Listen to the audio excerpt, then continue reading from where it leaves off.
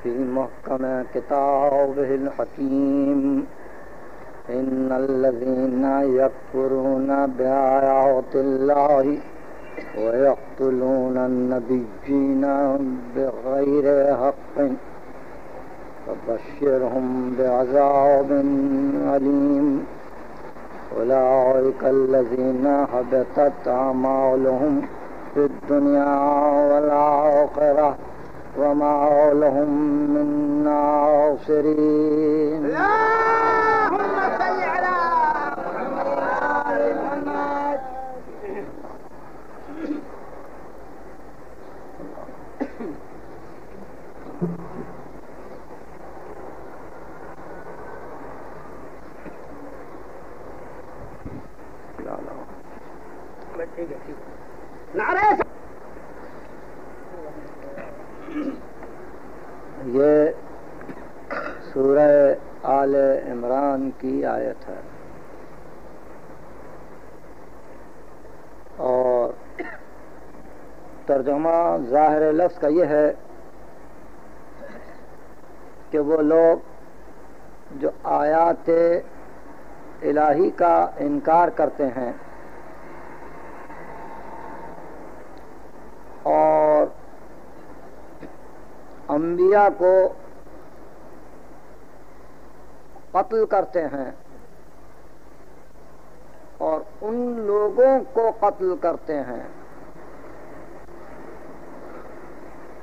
कि जो अदलो दाद का इंसानों में हुक्म दें तो उनको दर्दनाक अजाब की खबर दे दो।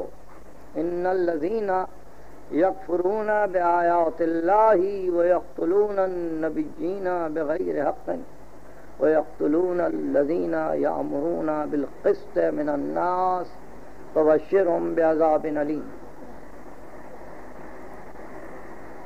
यही वो लोग हैं उलाइक अल्लज़ीना हबतत आमालुहुम फिद दुनिया वल आखिरह यही वो लोग हैं कि दुनिया और आखिरत में उनका अमल हफ्त कर लिया जाएगा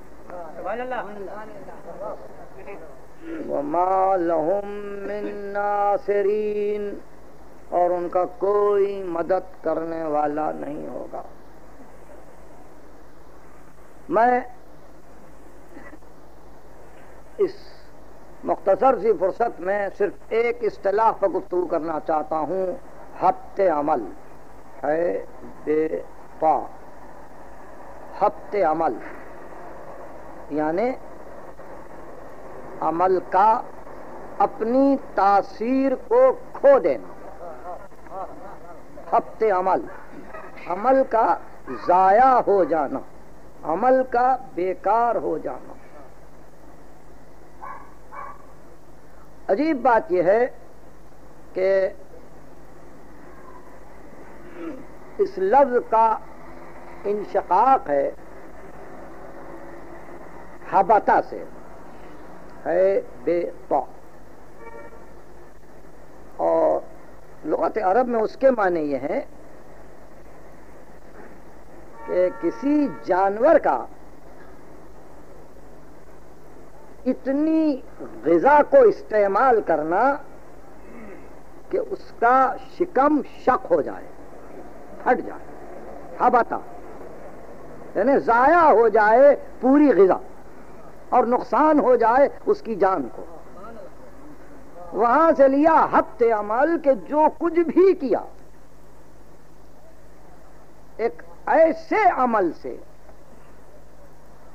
एक ऐसे काम से उसको बेकार कर दिया अपने किए हुए को, कि फिर अब किए हुए अमाल का तस्करा नहीं किया जा सकता महबूद के सामने। ये एक इख्तलाफी मसला है कि आया आमाल नेक आमाल अच्छे आमाल हफ्त हो सकते हैं या नहीं। इसको समझने के लिए ये सोच लीजिए कि अगर कोई बहुत ही अच्छे किस्म की गजा तैयार करे। और उसके बाद उसमें जरा सा इंद्रायन मिला दे हंजिल मिला दे। तो उसके माना ये हुए कि जितनी मेहनत उस गजा की तैयारी में सर्फ हुई थी, वो जरा से हंजिल की आमेजिश से उस पूरी गजा को खराब कर गई, कड़वा बना दिया। इसी तरह इसी तरह, इंसान की ज़िंदगी का हर पहलू है कि बहुत से अच्छे काम करने के बाद अगर कोई ऐसी चीज़ की आमेजिश हो जाए कि जिससे गुजिश्ता अमल को साजगारी न हो तो सारा अमल खत्म हो जाता है। यहाँ गुफ्तगु यह है कि सदा अमाल है इंसान के। बंदगी है। वालदेन से नेकी है। पड़ोसियों से हुसन सलूक है। यतीमों का ख्याल है। बेकसों की मदद है। हज़ारों ने किया लेकिन इन सारी नेकियों के बाद अगर कोई ऐसा अमल सादिर हो जाए कि जिससे अब दो माबूद का दरमियानी रश्ता, दरमियानी रब दरमियानी ताल्लुक अगर खत्म हो रहा हो तो सारा अमल खत्म हो नमाजें भी गई, रोज़े भी गए, हज भी गया, जक़ात भी गई। अगर किसी ऐसे अमल से रिश्ता अब दो महबूद के दरमियान का मुनकता हो गया, रिश्ता उबूदियत कट गया तो हफ़्ते अमल है। यानी वो भी कोई ऐसा काम हो कि जिसके मुतालिक कुरान सराहत कर दे। कि अगर ऐसा होगा तो अमल हफ्त हो जाएगा। अब यहाँ बतलाया कि कत्ल अंबिया, जो नबी को कत्ल कर दे, या साहेबान किस्त को, जो आदिल का हुक्म दे रहे हैं, अगर उनको कत्ल कर दे। तो आपने देखा कि रिश्ता उबूदियत टूटा। जिसको जाते वाजिब ने रसूल बनाकर भेजा, उसको कत्ल किया। या जो अम्र इलाही के साथ क्याम करे अदल दाद को कायम करने के लिए। अगर उसको कत्ल किया तो गोया मर्ज़ी इलाही के खिलाफ उसने इकदाम किया। नतीजा ये कि हफ़्ते अमल, अब कुछ न बच सका। कागज़ फिर सादा हो गया। जो कुछ भी लिखा गया था, वो हफ्त हो गया। इस तरह से गोया पहली मंजिल फ़िक्र की है कि अगर वो रिश्ता अब दो माबूद के दरमियान का मुनकता हो जाए तो फिर बंदे को यह हक नहीं है ये पूछने का कि मैंने अब तक जो बंदगी की थी उसका क्या हुआ? वो तो सब इस अमल से वो सारी बंदगी रायगा हो गई। तो आपने देखा, सूरह आले इमरान में हफ़्ते अमल की एक सूरत बतलाई और कहा कि कत्ल अंबिया या वो लोग जो कायम बिल किस्त हैं, जो अदल के कायम करने वाले हैं, अगर वो कत्ल हो जाएँ किसी के हाथ तो कातिल का अमल हफ्त कर लिया जाएगा। न उसका इस्लाम काम देगा, न उसका ईमान काम देगा, न उसकी नेकियाँ काम देंगी। न उसकी खैरात काम देगी। यानी कोई अमल अब गिनती में नहीं आएगा शुमार में नहीं आएगा। अब इसी तरह से कुरान ने मुख्तलिफ़ मकाम पर नसूस कायम किए कि कहाँ कहाँ अमल हफ्त होता है। नारे सलवार। मैं एक मंजिल उसकी और वाजह कर देता हूँ और उसके बाद फिर हम अपनी फ़िक्र को पेश करेंगे। ये सूरह हजरात है। सूरह हुजरात कलाम मजीद का उनचासवां सूरा है। सैतालीसवां सूरा सूरह मोहम्मद। और अड़तालीसवां सूरा सूरह फतह। उनचासवां सूरा सूरह हुजरात। यहाँ हफ़्ते अमल की एक और सूरत या युहल्लजीना आमनु, ला तरफऊ असवातकुम फौका सौतिन नबी। साहिबा ने ईमान, बात करते वक्त तुम्हारी आवाज़, नबी की आवाज़ से बुलंद ना हो। वला तजहरू लहू बिलकौल का जहरे बाज़कुम ले बाजिन। और जैसे आपस में पुकार के बातें करते हो, नबी से इस किस्म की बातें न करना। अंतहबत आमालुकुम, ऐसा न हो कि पूरा अमल खत्म हो जाए।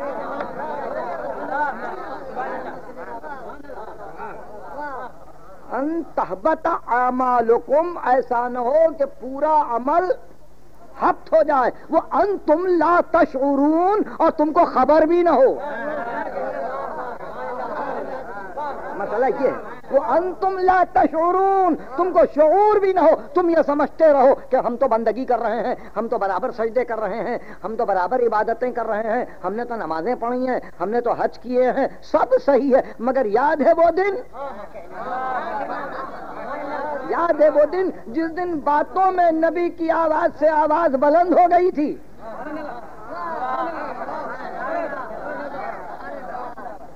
और अजीब बात है सूरह हुजरात की इस आयत में एक अजीब बात है। वो ये है कि शान खिताब देखिए।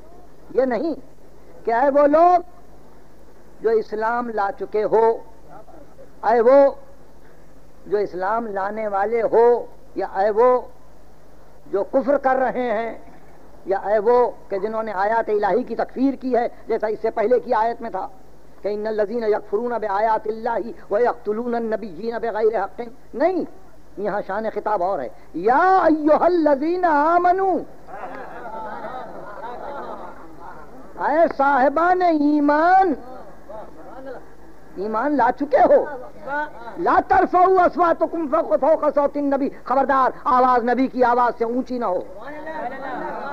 आए साहिबान ईमान। नबी की आवाज़ से आवाज़ ऊँची ना हो। पुकार के बातें ना करो। अमल हफ्त हो जाएगा। वो अंतुम ला तशुरून, तुमको शूर भी नहीं होगा। महशर में उठोगे, ढूंढते हुए कि नेकियाँ कहाँ गई? शूर नहीं होगा, गया, अमल गया। अंतहबत आमालुकुम अंतुम लाता तशुरून। नबी की आवाज़ से आवाज़ बुलंद न हो। ला तरफऊ अस्वातकुम फौका सौतिन नबी। आयत मुहकम है। आयत मुहकम है। और आयत पुकार रही है कि नबी की आवाज़ आज भी है।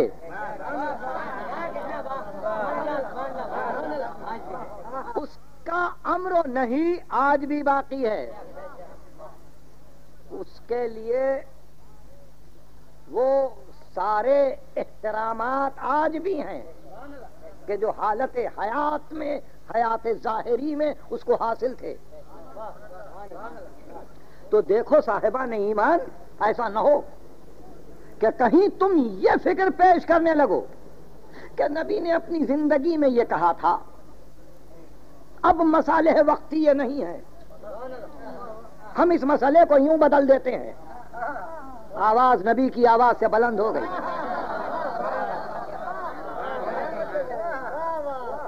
अमरो नहीं को रसूल के किसी दौर में बदलने की कोशिश करना। आवाज़ को नबी की आवाज़ से बुलंद करना है। तो अब एक नई राह निकल आती है और वो इसलिए अहम है कि अगर किसी ने किसी दौर में ग्यारह हिजरी के बाद आज सही, आने वाले दौर में सही, कभी भी, अगर ये कह दिया कि ये इरशाद नबी का था, सर आँखों पे है, मगर यह तारीख है यह हिस्ट्री है यह गुजरा हुआ वाकया है। हमारे हालात ऐसे नहीं है कि हम इस हुक्म की तामील करें। तो सिर्फ़ इतना कह देना ही काफ़ी है कि नबी के इस हुक्म की इस दौर में तामील नहीं हो सकती, जहाँ यह कहा। इसके बाद फिर कोई अपने अमल पे भरोसा न करे।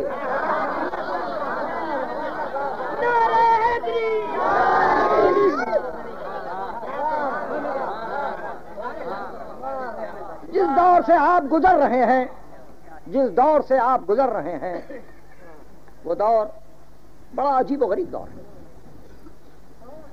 अजीब व गरीब इनकशाफात फ़िक्र का दौर है। ऐसी मुख्तलिफ़ बातें सुन रहे हैं कि उससे कभी कभी हैरानी होती है कि हमारी तकलीफ़ शरई क्या है? अब हमारे लिए हुक्म क्या है? अब हम क्या कहें? हम इस तकलीफ़ में मुब्तला हो जाते हैं। यानी सबसे पहले ये कि इस्लाम दीन है, जिसके दो रुख हैं। जिसके दो रुख एक मुसलसल अमल, मुसलसल तस्लीम, मुसलसल सुपुर्दगी। अपने आप को उसके हवाले कर देना। यह मुसलसल अमल इस्लाम। यानी हमारी अमली ज़िंदगी, मुस्लिम की अमली ज़िंदगी अगर तस्लीम के साथ है तो इस्लाम। जिसके लिए किसी को यह कहने का हक नहीं है कि मैं मुस्लिम हूँ, तू मुस्लिम नहीं है। मैं मुसलमान हूँ, तुम मुसलमान नहीं हो, ऐसा नहीं कह सकते। हर एक मुसलमान है, हर एक मुसलमान रह सकता है। ये एक सूरत है। ये एक सूरत है। यानी तस्लीम आम है। लेकिन इस्लाम बहसीत इल्म के बहसीत इल्म के कि जहाँ इस तस्लीम के साथ ये पहचाने। कि मनशाए मासूम क्या है? मिजाज मासूम क्या है? नस मासूम क्या है? उस नस की बिना पर इज्तिहाद क्या है? तफक्को क्या है? किस हुक्म से किस हुक्म को हासिल किया जा सकता है? तो ये एक मुस्तकिल इल्म है। बिल्कुल उसी तरह से इल्म है, जैसे इल्म तिब है। जैसे इल्म कानून है, जैसे इल्म तबकातुल अर्द है, जैसे इल्म हयात है, जैसे इल्मुल अफलाक है। आपने देखा, जैसे इल्म हयातियात का है, नबातियात का है, कीमिया का है, तबीयात का है, बिल्कुल उसी तरह से एक मुस्तकिल इल्म है इस्लाम। दो सूरतें हैं, एक अमली सूरत के जहाँ सब मुसलमान हैं, एक इल्मी सूरत के जहाँ न जानने वालों को हुक्म है कि जानने वालों से पूछो।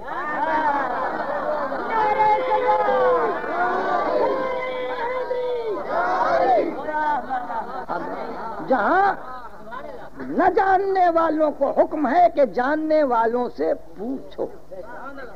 अब अगर ऐसे मौके पर कोई ये कहे कि इस्लाम पर किसी की इजारादारी नहीं है तो वो इस एतबार से अगर ये कह रहा है कि मैं भी मुसलमान हूँ, तुम भी मुसलमान हो, वो भी मुसलमान है तो हाँ ज़ाहिर इजारादारी नहीं है।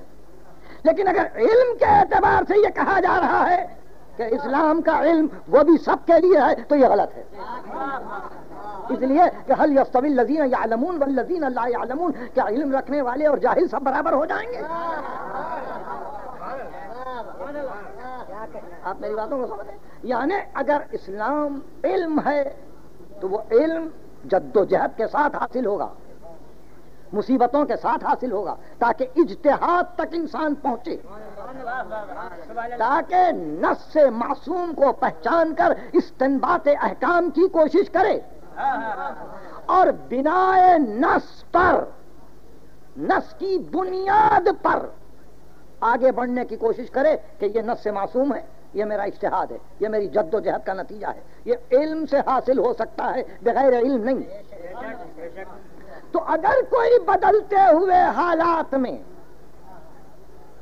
इस्लाम को बदलने की कोशिश करे अपनी नादानी के साथ तो वो अपनी आवाज़ को नबी की आवाज़ से बुलंद कर रहा है। समझ आवाज़ में बुलंदी आ रही है और फिर बेइल्मी है, नादानी है। मैंने बारहा कहा और इसको कहते हुए फिर भी एक ज़रूरत को रफा करना और एक अहम मकसद के, हुसूल के लिए इसको बार बार कहना लाजिम है।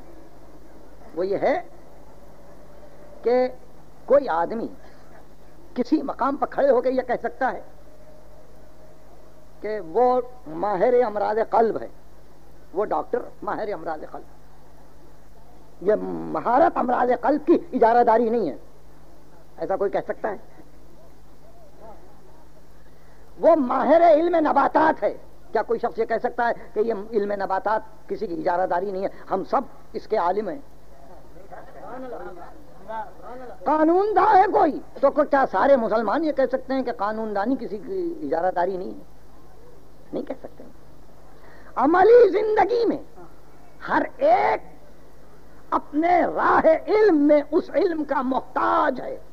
जिससे वो फ़ायदा उठाना चाहता है, इस्तेफादा करना चाहता है, दर्द दिल है तो जाओ उसके पास जो माहिर हो अमराज कल्ब का।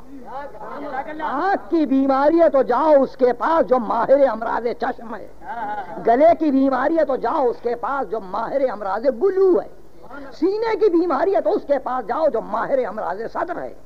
नबातात के मुतालिक जानना हो तो माहिर इल्म नबातियात के पास जाओ। हयातियात से पूछना हो तो माहिर इल्म हयातियात के पास जाओ। लेकिन हयातियात की बातें तबीब से न पूछो। तबीब की बातें कानून कानूनदान से ना पूछो। कानूनदान से इस्लाम के मुतालिक गुफ्तगु न करो।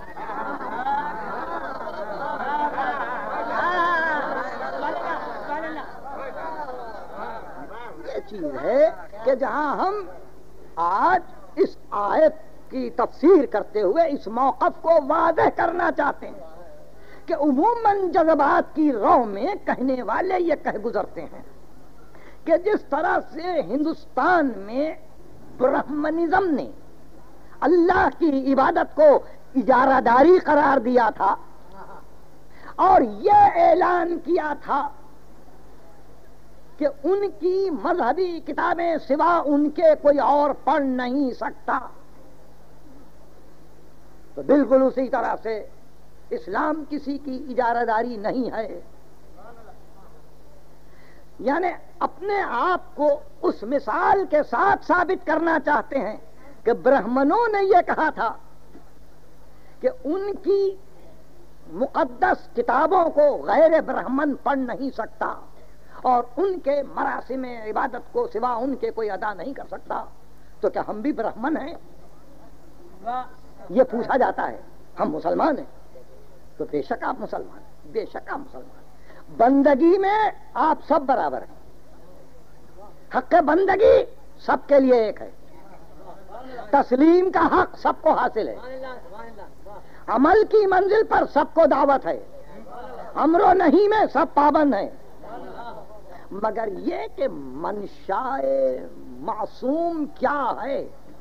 इस इल्म को जानकर बदलते हुए हालात में अपने आप को फतवे के काबिल बनाना और इश्तेहाद की मंजिल पर लाना वाकई इजारादारी है। वाकई इजारादारी है जो सिवा साहिब इल्म के। किसी को मैसर नहीं है। किसी को मैसर नहीं है। ब्राह्मण धोखा दे गया था, ये कह के कि हम अपनी मुकद्दस किताबों को पढ़ने नहीं देंगे। कुरान ने कभी इस किस्म का ऐलान नहीं किया। कुरान ने कहा, फकरहू मा तयसर मिनल कुरान, जितना मैसर आ जाए, पढ़ो। पढ़ो। कुरान पढ़ो, सुबह शाम पढ़ो। लेकिन कुरान पढ़कर कुरान पढ़कर तर्जमा करके अपने आप को इस काबिल न समझो कि ये कुरान का तर्जमा है और हम ये हुक्म उम्मत को दे रहे हैं। बिल्कुल ऐसा नहीं है। बिल्कुल ऐसा नहीं है इस वास्ते कि सिर्फ़ कानून को पढ़ के कोई इंसान कहीं भी कानून के हकायक तक, उसके मारिफ तक, उसके इम्प्लीकेशन तक नहीं पहुँच सकता। कानून की क्या पढ़ लीजिए। जब तक के उसका जौक ना हो, जब तक के उसमें जहमतें ना उठाई हो उसने, जब तक के उसको दर्शन दर्शन ना देखा हो, जब तक के नजाहिर उसके सामने ना हो, उस वक्त तक वो कानून समझ में नहीं आएगा। कानून काबिल अमल नहीं होगा जब तक के नजाहिर सामने ना हो। बिल्कुल उसी तरह से कुरान मजीद का पढ़ना तो सब पर है, सब पे लाजिम है, ताकि इंसान गाफिल ना रहे।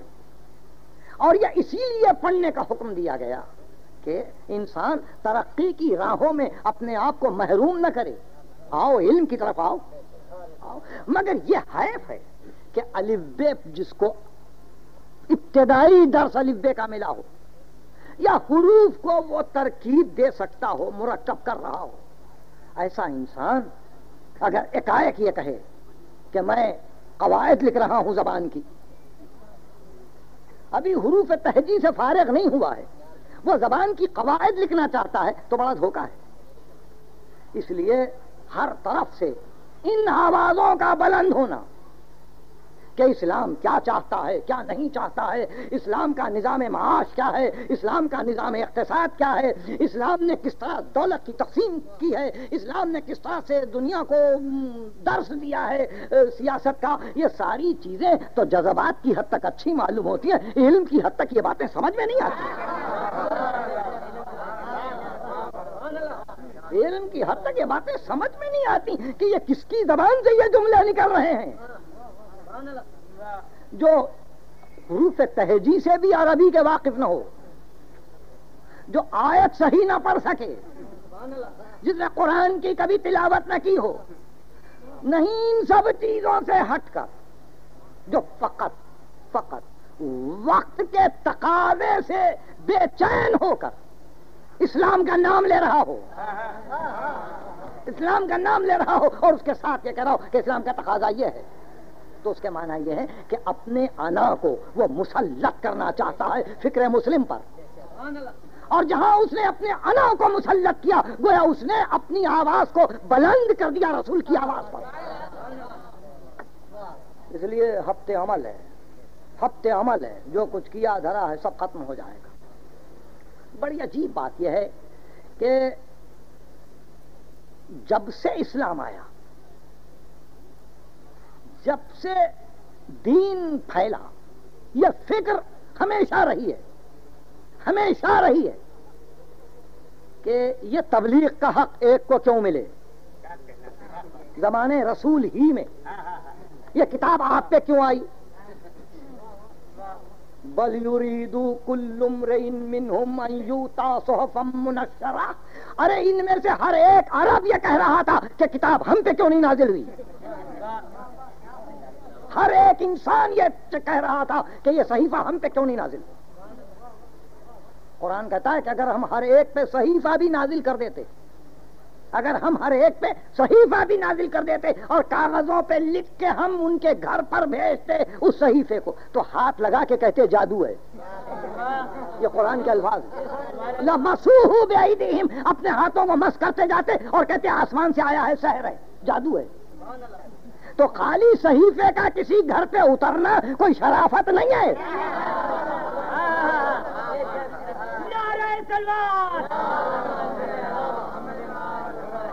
जब तक के वो दिल न हो कि जो मंजिल वही बने। जो मंजिल वही बने।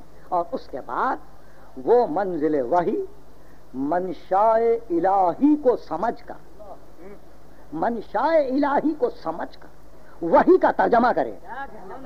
मेरे लफ्जों पर हमेशा गौर करते रहिए। मनशाए इलाही को जानकर वही का तर्जमा करे। तराओ जीमतन ले वही यही आले मोहम्मद, तुम उसकी वही के तर्जमा करने वाले हो। उसकी वही का तर्जमा हो तुम। तर्जमा किया जाए।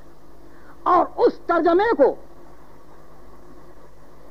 इस वजाहत के साथ, उम्मत के सामने रख दिया जाए। कि ये तुम अपनी मर्ज़ी से अपनी मोहब्बतों की बिना पर इस बात के मजाज न रहोगे इस्लाम के बाद। इस्लाम के बाद कि अगर किसी शय पर तुम्हारा मालिकाना हक है तो तुम्हारे वरसा को उतना ही मिलेगा जितना किताब में है। और वही है इंसाफ। वही है इंसाफ जो वही तकसीम कर दे। बीबी साहेब औलाद हो जाए तो तुम्हारी हज़ार महबूब सही, लेकिन एक बटे आठ से ज़्यादा नहीं देने देंगे। ये हमारा निज़ाम तकसीम माश है। जो मिल्लत ने उसको कबूल किया है। मिल्लत ने जिसको कबूल किया है।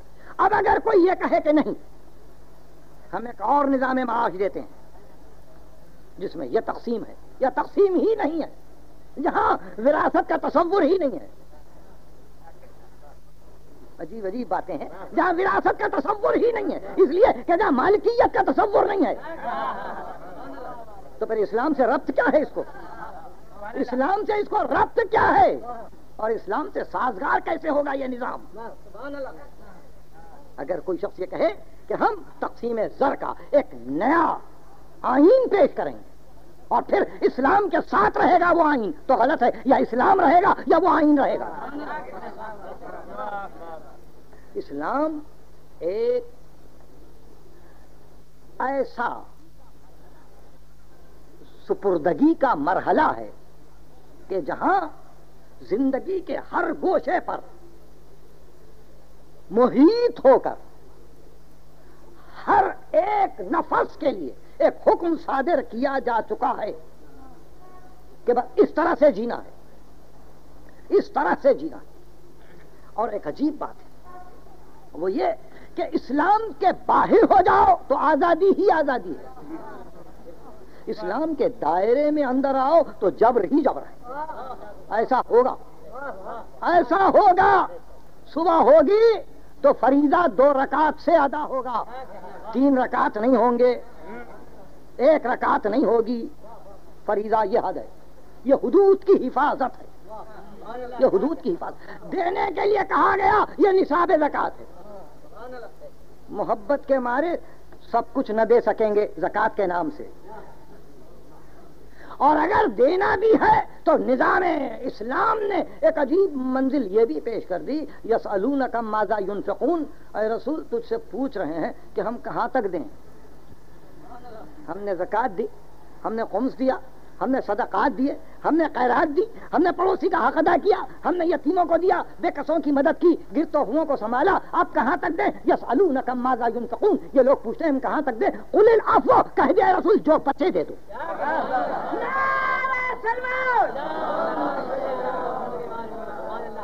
ये उलिल अफवो के बाद, अब और कौन सा निज़ाम है जो मुसलमानों के लिए जाजिब नज़र आ रहा है? हिम्मत है तो यहाँ तक दे दो। हिम्मत है तो यहाँ तक दे दो। घर छोड़ के हट जाओ। मगर ये नहीं कि मालिकियत ही इस्लाम में नहीं है, ये गलत है। मेरे लफ्जों को पहचानने की कोशिश कीजिए। देना है तो लुटा दो। ये कह के नहीं कि मालिकियत नहीं है। ये कह के नहीं कि मीरास का कोई हुक्म नहीं है। ये कह के नहीं कि कोई वारिस किसी का नहीं हो सकता। ये गलत है। ये गलत है। ये हुदूद को तोड़ना है। आप बातें समझ रहे तो ऐसी मंजिल पर, बड़े एहतियात के साथ हालात का जायजा लेना पड़ेगा और जहाँ इल्मी मसाइल पैदा हो जाएँ, वहाँ आप में से हर एक को गौर करना पड़ेगा। सियासत की हद तक बातें नहीं कर रहा हूँ। न सियासी गुफ्तगु है, न किसी तरफ़ इशारा है, मगर चूँकि इल्मी मबाहिस आ रहे हैं इसलिए बहसीत इल्म के कभी कभी तन्हाई में गौर तो कीजिए। इस्लाम का तकाजा क्या है? इस्लाम का तकाजा यह है कि एक अंग्रेज़ी जुमले की हद तक माफ़ी चाहता हूँ, मगर दिलचस्प जुमला है। उसका उर्दू तर्जमा भी आपको मालूम है और तर्जमा भी कर दिया जाएगा। इस्लाम का तकाजा यह है take it as a whole और reject it as a whole कबूल करो तो तमामन कबूल करो। रद्द कर दो तो तमामन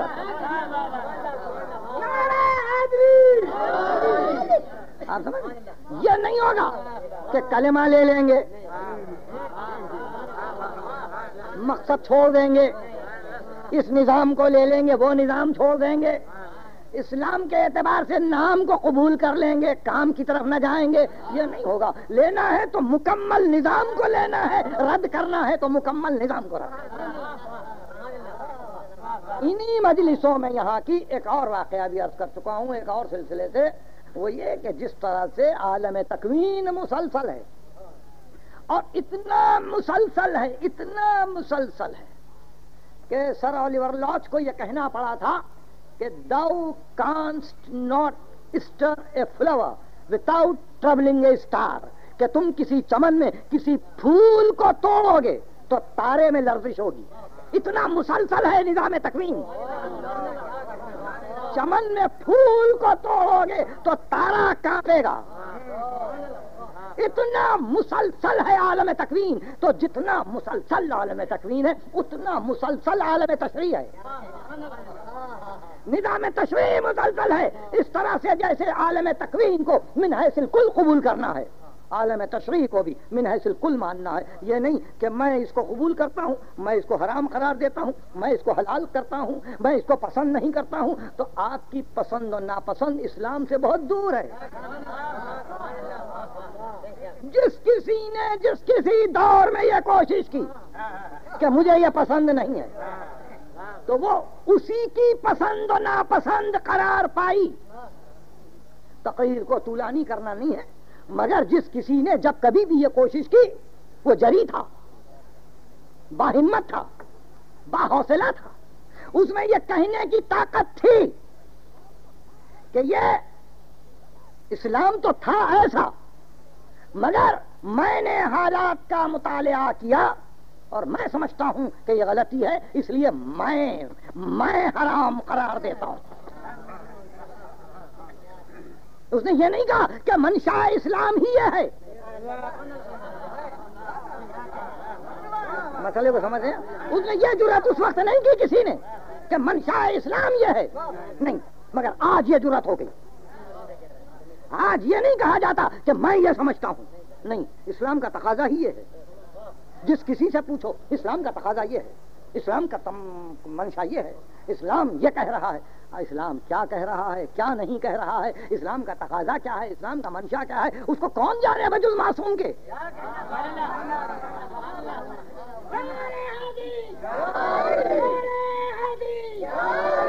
जो मर्ज़ी इलाही से नावाकिफ हो, जो मर्ज़ी इलाही से दूर हो वो इस्लाम का नाम लेकर अगर ये कहे कि इस्लाम का मंशा ही ये है तो उसके माना यह है कि वो मर्ज़ी रसूल के खिलाफ एक आवाज़ को बुलंद कर रहा है। और अगर ये आवाज़ ऊँची हो गई, अगर ये आवाज़ बुलंद हो गई तो बड़ा नुकसान होगा। बड़ा नुकसान होगा और बजुल हफ़्ते अमल के और कुछ नहीं है। बस इस मंजिल पर इन बातों का जानना बे इंतहा ज़रूरी है बे इंतहा ज़रूरी ये एक और बात है एक और बात कि हम अपने लिए एक निज़ाम मज़हब बना रहे हैं, एक निज़ाम इस्लाम को छोड़कर एक निज़ाम नौ तरतीब दे रहे हैं। ये सही है, ये सही है। मगर इस्लाम के साथ न आवेजिश है, न आमेजिश है, न उसमें किसी को घोला जा सकता है, न उसमें किसी को जज्ब किया जा सकता है। इस वास्ते कि हक में और बातिल में कोई रास्ता कंप्रोमाइज का नहीं है। हक अपनी जगह है, बातिल अपनी जगह है। आप हक और बातिल में सुलह कैसे करेंगे? हक और बातिल में सुलह नहीं हो सकता। अगर ये उमूर पेश नज़र हैं और इन उमूर को पेश नज़र रखकर आप हालात से गुजर रहे हो तो आपको हर आने वाला दिन इस बुनियाद फ़िक्र पर कुछ समझने की दावत देगा। कि कहाँ कहाँ से कितनी आवाज़ें बुलंद हो रही हैं? कितनी आवाज़ें बुलंद हो रही हैं? और उस दिन जिस दिन के शैतान ने वादा किया था कि मैं तेरे सिराते मुस्तकीम पे बैठ के तेरे बंदों को बैठाऊँगा। उसी दिन इर्शाद हुआ था कि जा, इसकी भी इजाज़त है कि मुख्तलिफ़ आवाज़ें बुलंद कर। मुख्तलिफ़ रंग का लिबास पहन ले। कभी पियादों को लेकर टकरा जा, कभी सवारों को लेकर टकरा जा। वो शारिक फ़िल्म वाले वाला औलाद, इनकी माल में और इनके औलाद में शरीक हो जा जो तेरा साथ दे दे, ज़ाहिर है उसका अंजाम भी तेरे साथ होगा। गुफ्तगु अगर यहाँ तक पहुँच गई तो अब आगे नहीं बढ़ाएँगे, मगर चूँकि मैं उन हालात से आपको गुजरते हुए देख रहा हूँ और खुद अपने आप को महसूस कर रहा हूँ कि किन हालात से मैं गुजर रहा हूँ, इसलिए होशियार होने की ज़रूरत है कि इल्म क्या कह रहा है। इल्म क्या कह रहा है? आपको हिदायत क्या हो रही है? ये एक फ़िक्र है, इस फ़िक्र पे कभी और गौर करेंगे। तो अब आपने देखा कि बहुत से ऐसे अमल हैं कि सारी नेकियों को डुबो देते हैं। तो बहुत सी ऐसी नेकियाँ भी हैं जो सारे बुरे अमाल को वक्त वाहिद में खत्म करते हैं।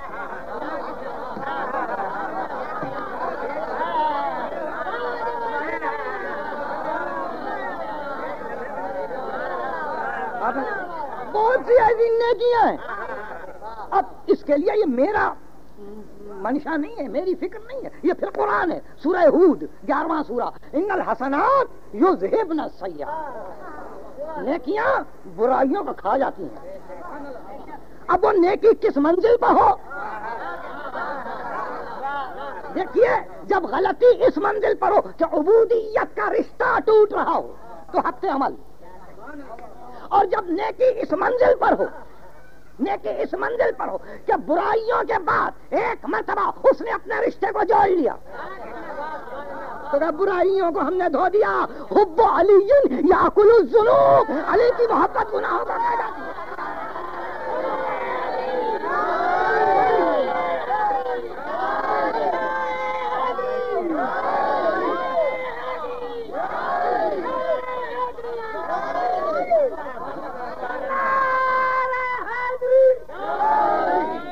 हसनात युजहिबन सैया नेकियाँ बुराइयों को ले जाती हैं। उठा ले जाती हैं, हटा देती हैं। बशर्ते के नेकी उस मंजिल पर हो। उस मंजिल पर हो कि जहाँ फिर बुराइयों पे नज़र ना पड़े। बुराइयों पे नज़र ना पड़े, हो गई गुफ्त इसलिए कहा माता अला हुब आल मोहम्मद माता कमन वुलेदा मिन बतने उम्मे, जो मर जाए आले मोहम्मद की मोहब्बत में, वो इस तरह से मरता है जैसे अभी पैदा हुआ।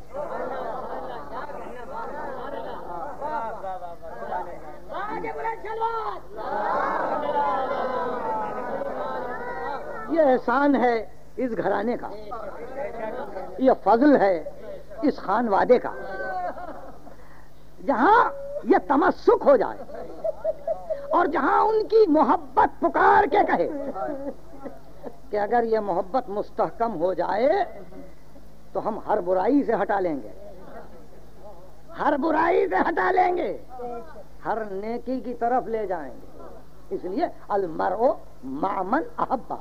इंसान उसी के साथ रहता है जिसको वो दोस्त रखता है। अगर जिसको दोस्त रखते हो उसको बंदगी पसंद है। तो दोस्ती का तकाजा ये है कि तुमको भी बंदगी पसंद हो। जिसको दोस्त रखते हो, अगर उसके लिए सदाकत, हिल, शुजात, जोहद, सखावत, ये सब लाजिम है तो दोस्त रखने वाले के लिए भी यह सिफात लाजिम है। इसलिए मोहब्बत, किसी की मोहब्बत इंसान को उस राह पर ले, शुजात, जोहद सखावत, ये सब लाजिम है। तो दोस्त रखने वाले के लिए भी यह सिफात लाजिम है। इसलिए मोहब्बत, किसी की मोहब्बत इंसान को उस राह पर ले जाती है, जो महबूब का रास्ता है। अब आप समझ गए, ये तकरीर मुकम्मल हो गई। इन हसनात युजहिब न सयात नेकियाँ बुराइयों को हटा देती है। और किसी की मोहब्बत गुनाहों को इस तरह से खाती है जैसे आग सूखी लकड़ी को खा जाती है। तो इस मोहब्बत के साथ जीना है, इस मोहब्बत के साथ मरना है। जिसको यह मोहब्बत मिल गई, उसके दिल में बड़ी वसअत पैदा हो जाती है। ज़मीन और आसमान की वसअत उस दिल में है, जिस दिल में यह मोहब्बत है। और जहाँ इस जिस दिल में यह मोहब्बत नहीं है, वो दिल बहुत छोटा है। उसमें इस्लाम समा नहीं सकता। वो इस्लाम को समझ नहीं सकता। नतीजा ये कि ना समझी के आलम में वो हर एक ऐसे तस्वुर हयात को कबूल करने पे आमादा पाया जाता है, जो थोड़ी देर के लिए उसको सुकून देने वाला हो। इसलिए कि दिल में वसात नहीं है। इनके बन जाओ, इनके हो जाओ, इनके दामन को थाम लो तो ये तमस्सुक इंसान के वसात कल्ब का बाइस है। फिर उस दिल में कौन और मकान आ सकते हैं? उस दिल में सब कुछ आ सकता है, बशर्ते के मोहब्बत। और जहाँ मोहब्बत आ गई, वहाँ फिर इंसान खुद ब खुद उसकी तबीयत, फितरत, जिबिल्लत बुराइयों से उसको हटाती है। अब उसको पसंद नहीं है बुराई। इसलिए कि उस राह पर जा रहा है। फितरतन बुराई पसंद नहीं है। इसलिए कि हक की तरफ़ जा रहा है। बस यही वो मंजिल है कि जहाँ हमने अपने अइम्मा को देखा। और उन्हीं से हमने ये दर से हयात लिया। और फिर जिनकी ज़िंदगी, जिनमें से हर एक की ज़िंदगी इसी बात पर खत्म हुई। यह याद रखने का काबिल जुमला, जिनमें से हर एक की ज़िंदगी इसी बात पर खत्म हुई कि हाकिम वक्त अपने मंशा के एतबार से इस्लाम की ताबीर कर रहा था। और इन्होंने कैद को पसंद किया, एहतजाज किया, जामे शहादत नोश किया। हर मासूम की शहादत इसीलिए है कि इस्लाम को खालिश रखो। वो करबला का शहीद हो या खुरासान का?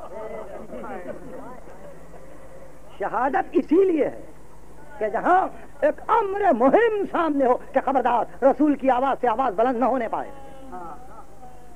यही वो मंजिल है कि जहाँ आखिरी दम तक ये पूछते रहे, लेमा तख्तुलूननी मुझे क्यों कत्ल कर रहे हो? लेमा मुझे क्यों कत्ल कर रहे हो? अमाला शरीयतिन गैया कहा क्या मैंने शरीयत में कोई तब्दीली कर दी? अमाला दिमाइन सपक तो क्या मैंने किसी का लहू बहाया? क्या मेरे जिम्मे किसी का देन है? कोई तब्दीली मैंने की है दीन? तो दुनिया का जवाब यह था कि नहीं, फरजंद रसूल, आपने कोई तब्दीली नहीं की। सिर्फ़ यह है कि हाकिम यह चाहता है। कि आप उसकी मर्ज़ी को तस्लीम करते हुए अपने आप को उसके हवाले कर दें, ताकि मुसलमान ये जान ले कि हाकिम का अमल दुरुस्त है और मोहम्मद के नवासे ने बैत की। अल्लाह वल्लाह ये नहीं हो सकता। इसलिए कि इन रगों में मोहम्मद का लहू दौड़ रहा है। इन रगों में मोहम्मद का लहू दौड़ रहा है। मैं किसी मौके पर भी बैत नहीं कर सकता। तो ये वो मंजिल है कि जहाँ हर शहादत ये ऐलान कर रही है कि हुकूमत वक्त आगाह हो जाए, कि मंशा माबूद का, मर्ज़ी माबूद की। यही बाकी है और बाकी सब हेच है।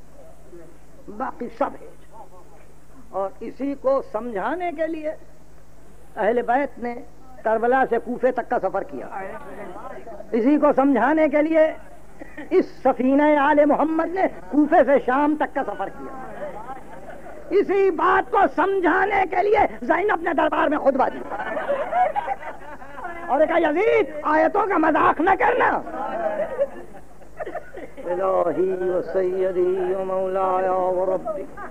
खुदा बंदा हमको कामिल ईमान कर हमारे हवाई से दीनी दुनियावी बदला एक मरतबा सूरह हम और तीन मरतबा सूरह अखलास। बिस्मिल्लाहिर्रहमान